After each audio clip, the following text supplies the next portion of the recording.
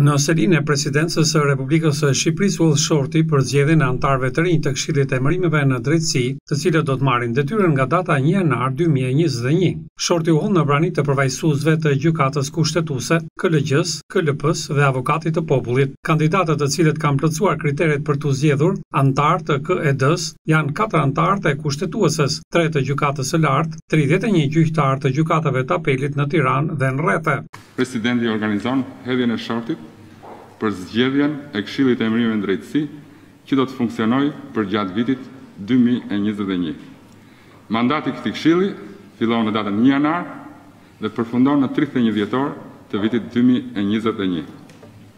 Bashkë me ne sot është në cilësinë e vëzhguesit, sipas funksionit kushtetues, Avokatja e Popullit, përfaqësues nga Këshilli i Lartë Gjyqësor, Këshilli i Lartë i Prokurorisë, përfaqësues nga Kuvendi, nga Gjykata Kushtetuese dhe nga dy misionet e ekspertizës që monitorojnë implementimin në sistemin e drejtësisë, OPDAT dhe të Bashkimit Evropian.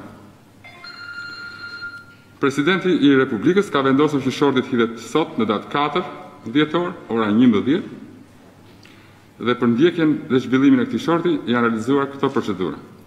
Presidenti ka autorizuar Për udhëheqjen e shortit, drejtorin e kabinetit, zotin Edmond Panariti dhe zonjën Ornela Zonja, sekretare e përgjithshme.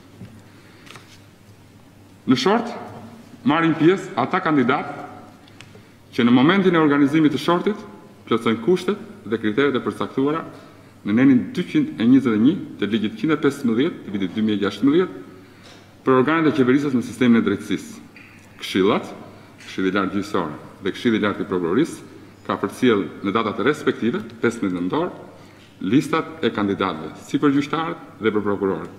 I njëjti detyrim është përmbushur dhe nga Gjykata Kushtetuese.